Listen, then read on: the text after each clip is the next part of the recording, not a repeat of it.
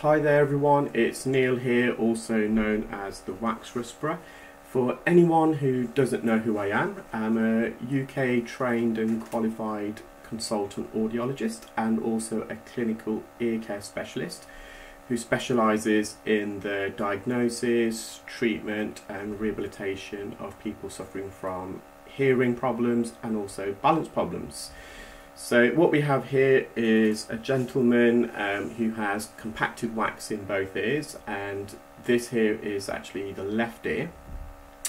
You can see the consistency of the wax is almost like clay and it's one of the hardest types of earwax to actually remove because it's very difficult to suction this type of earwax. You can compare it to clay as I said or also wet mud and because of the the viscosity of the wax, it's very hard to obtain a suction grip and quite often this type of wax actually blocks the suction probe and during uh, this procedure you'll see many times that I've had to come out of the ear and blo the suction probe um, using a, a, cleaning rod. So this wax um, is also adhered to some skin that's also attached to the ear canal wall and currently we're quite lateral, uh, laterally in the ear which is the outer part of the ear canal near the entrance and I'm making some headway here. Um, I'm actually working on the posterior canal wall where the wax was attached to, gently peeling it and here I've now gone to the inferior and anterior canal wall. It is a bit of a struggle and in a moment um, you will see that here we are I've instilled some olive oil earwax drops now what olive oil does it does two things not only does it soften the wax but it also helps to bind the wax together so when you do get a suction grip you get larger chunks of the wax coming out I always compare it to an egg if you're making potato cake or fish cake it binds the mixture together and similarly in this case uh, with earwax it has a similar effect. So it has given me some benefit here, but nonetheless it is still very difficult to remove this wax.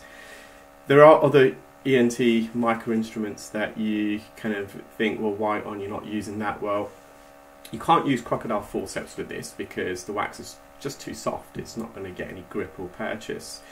And now that I'm further in the ear, we just don't know what's behind that wax. So if I insert uh, Jobson horn, for example, there's no opening there for me to get the instrument in and behind the wax.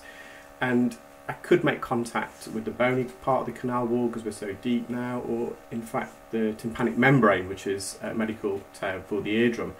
Hence why I'm persisting with a suction probe. Uh, when wax is really, really deep in the ear, which is where we are now, it's always safer to use a suction probe. So you, you're minimising any, any risk and trauma caused by the instrument to the client. So um, just in the distance there, I can begin to see the eardrum, but um, the wax itself is actually impacted onto the eardrum. And soon enough, that will be revealed there is a lot of hair in the, the patient's ear. Now, I wouldn't say this is cilia, so most people have what we call cilia, which is a little hair strands located in the outer part of the ear canal. And the function of the cilia is almost just to trap any particles, foreign, body, foreign bodies, for example, pollen entering the ear. So it almost filtrates the air. But I've got a feeling here, this hair is actually the client's own hair, which may be on his scalp, um, or of his beard. So one piece of advice I can provide is if you do shave um, any hair close to your ear, I would get a ball of cotton wool with some Vaseline around it and just insert it into the ear canal just at the entrance. You don't want to go too far because you do have to remove that cotton wool. And what this does, if you are shaving or trimming your beard and you've got strands of hair that are flying around, they don't enter deep in the ear the problem with hair is that when it does enter the ears, um, as this gentleman has, it does mat alongside the earwax and it prevents the natural migration of wax. So that's just a bit of a tip for anyone who is um, often trimming their beard hair or shaving their scalp and you've got hairs flying around everywhere. So you can now see the eardrum there, although it's not very distinct, you can't really recognise all the landmarks and that's just because you've got wax smeared all over the eardrum. When we go near to the eardrum, um, we generally use what we call a fine end. Um, so a fine end is almost like an extension that we attach to the standard Zoellner suction probe. The benefits of a, a Zoellner, um, a fine end gauge, sorry, is that it's less atraumatic. So if you do come in contact with the eardrum, which is wafer thin, so we, we have to be very, very careful here, um, it's less likely to cause permanent damage. And also another benefit of a fine end gauge is that although the suction power is reduced, so is the noise. For anyone that's undergone this procedure before, they, they, they do realise and appreciate it can be quite noisy, especially as we slowly remove the layers of earwax. So a fine end can be a bit more time consuming because you don't have that surface area to grab large chunks of wax, but you do have to use it when we go this close to the eardrum. So the part of the eardrum that I'm working on at the moment is what we call the anterior aspect. So it's the front part. It's, it's the part, so if you were to see the client, this part of the eardrum's further towards his nose as opposed to the back of the head. And I'm just quite literally making contact with the eardrum here. I'm trying to kiss the surface and just loosen as much of this soft wax as I possibly can. Again, it's more difficult because of these um, hair strands. Um, can actually see the top part of the eardrum is slightly moving there, so I am making contact.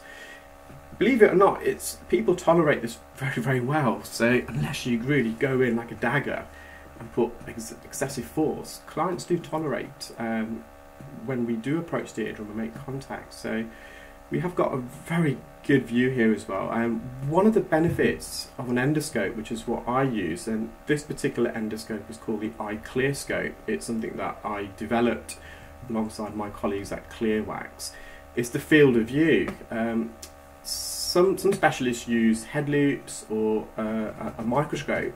Now, in the case of a microscope, you get fantastic magnification, but the view itself is very narrow. You don't see the whole ear canal. The field of view is much narrower.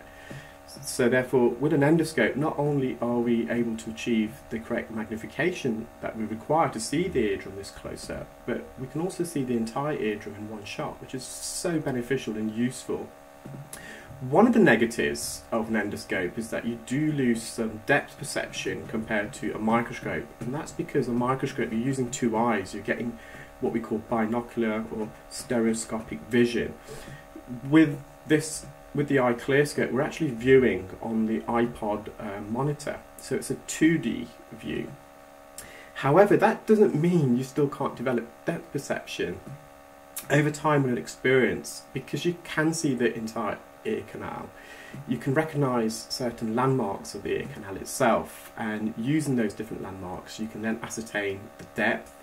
Obviously, the further in you go with the endoscope, you also do get that depth perception and you can use shadows that are created within the ear because of the anatomy, the bends and twists of the ear canal to kind of really precisely know how far you are um, in the ear canal.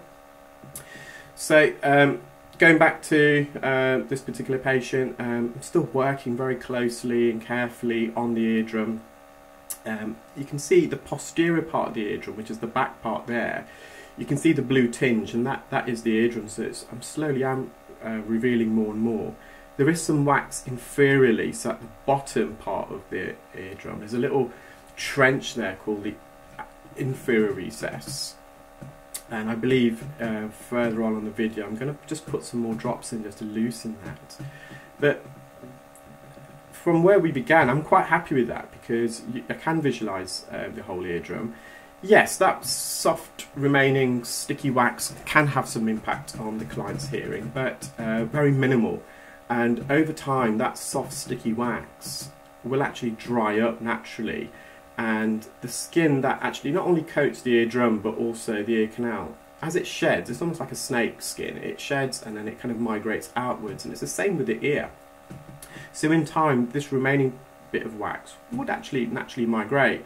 However, with this particular client who's tolerating the procedure very well indeed, I felt safe, I felt confident, so I decided just to persist a bit more, see if I can get a bit more out. Other clients, however, you may have the opposite. You just feel that they're not tolerating the procedure as well because although it is, it, as I said earlier, most people do tolerate this when we do go um, very deep in the ear.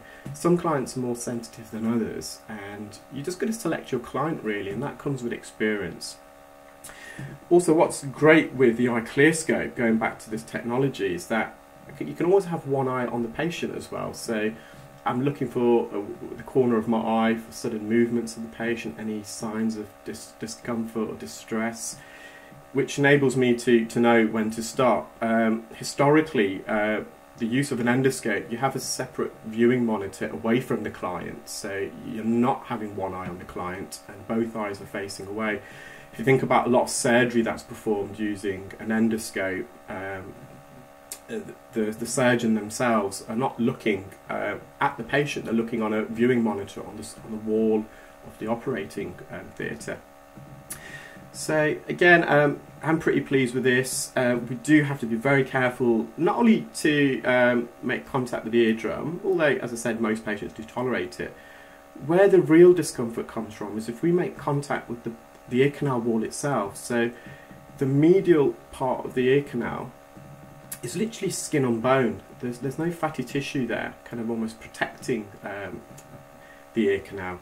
Whereas more laterally, the outer third, you, it's the ear canal itself is made up of cartilage, so you can apply a bit more pressure. So the real risk here is not causing pain by touching the eardrum, so to speak. Although, as I said, if you're going like a dart and a dagger, it, it, that will, will obviously naturally be uncomfortable.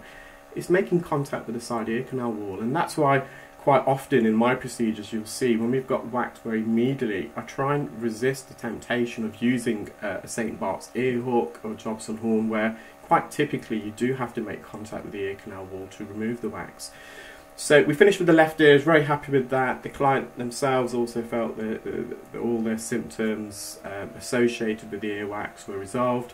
So I'm now switched over to the right ear and again this wax is very sticky and very clay type there is a bit of a gap there. The ear canal itself is also quite narrow. It's more what we call oblong. Um, it's, it's not round like a football. It's more like an oval shape.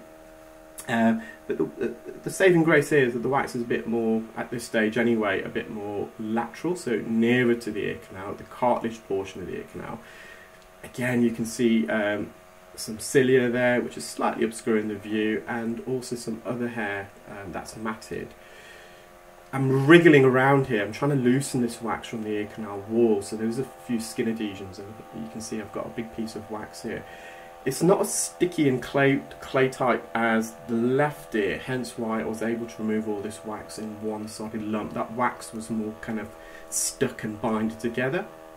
And at the end, the eardrum was nice and healthy. So thanks again for watching. Uh, if this is the first time you've watched one of my videos, please do um, subscribe and select uh, and click the notification bell so you'll be alerted as and when I upload uh, more videos. So again, thanks for watching and uh, wherever you are in the world, I hope you're keeping well and safe.